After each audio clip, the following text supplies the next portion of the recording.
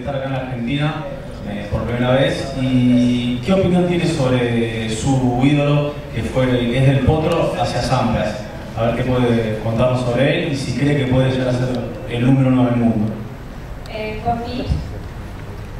Um, what are your feelings about being in Argentina for the first time? And what do you think about Del Potro? Uh, do you think he can be number one? Well, um, it's, it's possible. Uh, I've seen Juan play many times. Um, saw him in the U.S. Open a few years ago. Got some bad luck with the wrist. Um, but he's very talented. He's on his way to get back into the top 10. And, you know, number one is, is a lot of work, and you have to be a great player, but he's, he's on his way. Dice que lo ha visto a jugar al Potro varias veces, es muy talentoso, está tratando de volver a ser top 10, pero llegar a ser número uno eh, requiere mucho trabajo. Sí, Pete, perdón. Eh, cuando te despediste estabas muy, muy emocionado, muy eh, agradecido también. ¿Extrañas el tenis? ¿Extrañas la competencia, el triunfo, el aplauso, todo lo que se vive en el circuito? When you gave up tennis, you were very moved, very touched. Uh, do you miss all the, playing and the, the crowds cheering? Well, I, I, I miss certain parts of the year. I miss Wimbledon especially. I miss obviously the, the you know the majors, U.S. Open. I miss those weeks, but uh, I do miss you know some competition. But it is a lot of work, and um, I don't I don't miss the stress. I don't miss the travel, but I, I do miss the majors. I think that's why we all played. Was was to win that uh, big event, and um, but I'm very content being retired, very happy, and uh, tennis is a tough sport. It's a lot of work.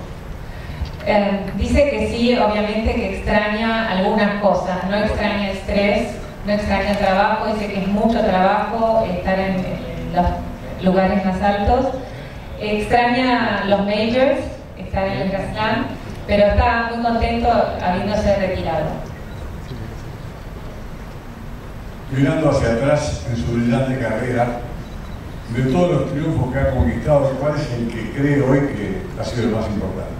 Looking back on your career, which is the match, the, the, the, the match that you won that you look back on?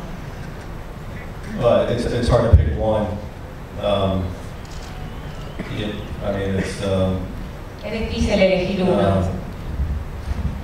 you know, I think my last major was, was very special. I went through two years of not winning an event, struggling with um, my game, my confidence, and to come from very, very low.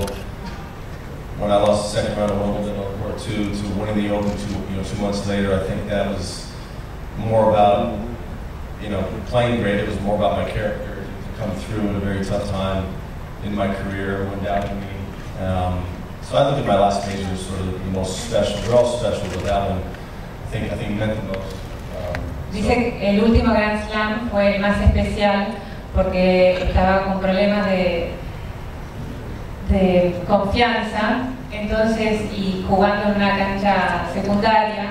Entonces es difícil elegir uno, pero piensa que su último Grand Slam fue el, el más memorable.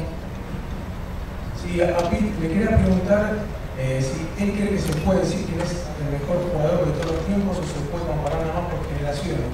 ¿Y por qué cree que no pudo ganar Roland Garros? Si fue por mala suerte o porque se encontró siempre con alguien que, que pudo superarlo. Y por último, que cuente cómo es un día en su vida normal. Okay. Too many questions. Uh, first uh, thing, can, do you think you can name, say that there's one, the best player or do we have to choose one generation by generation? You know, it's a, it's a very, a very tough question to answer. Um, Es muy difícil de contestar. I think each generation has a player, and to say there was one greatest of all time is very, very tough to say. Um, look what Laver did back in the day was incredible. He didn't have the competition like we have today, what Roger has been able to do. I-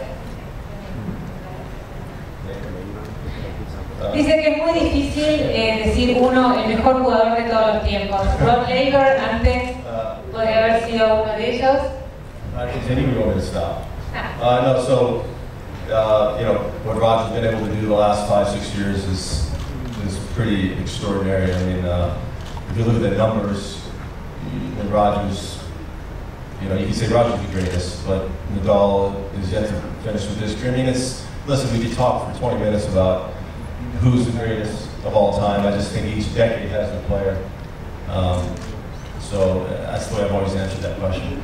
Dice que va a ser muy difícil contestar esa pregunta si uno mira lo que hizo Federer en los últimos años, es impresionante, ahora Nadal, así que es muy difícil eh, contestar esa pregunta. The second part of the question was, why do you think you couldn't uh, win in Roland Garros? Was it that luck? Was it you met someone that always beat you? Well, that was a combination of a lot of things. Obviously, I didn't grow up playing on clay. Being in California, it was all hard court tennis. And uh, that being said, I, I played quite well on clay. It certainly wasn't my surface. I didn't move as well. It slowed down my game a little bit. It was harder to serve volley. Um, and I think, quite honestly, at the end, I felt a little anxiety because I won all these other majors. You know, it's like the, the French became too much of a of an issue, and, and I didn't feel relaxed. I felt like I was always a little uptight, and as a result, I I never won there. I had one good year where I got the semis, but um, just wasn't good enough. Bueno,